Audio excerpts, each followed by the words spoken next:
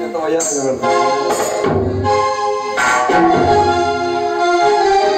బుగ్గకు చుక్కను పెట్టి పాలకు పారాని పెట్టి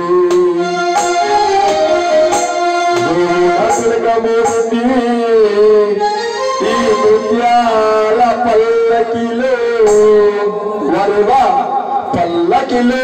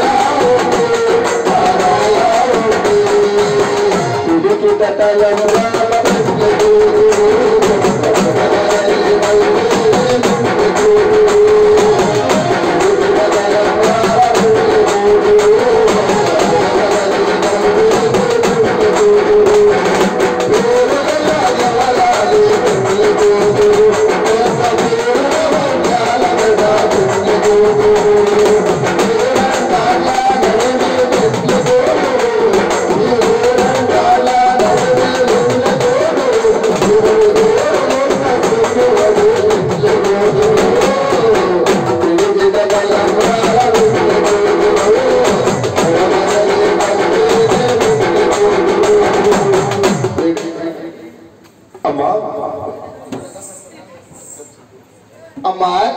ఓయ్ ఇందాక నుంచి పంతులు గారు పెళ్ళి కూతురు త్యాండో త్యాండో అంటున్నారమ్మా. ఏంది రావా? ఏంది నిజంగా రావా ఏంది నేను పోయి చేసుకోమంటావా? ఎంతమంది చేసుకుంటావు ఇప్పుడు ముగ్గురేగా? ఇంకెత్తనం చేసుకో? ఎందుకో?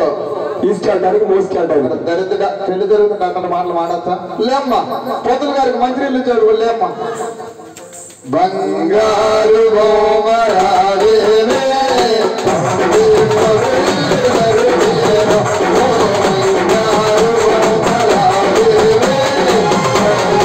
어.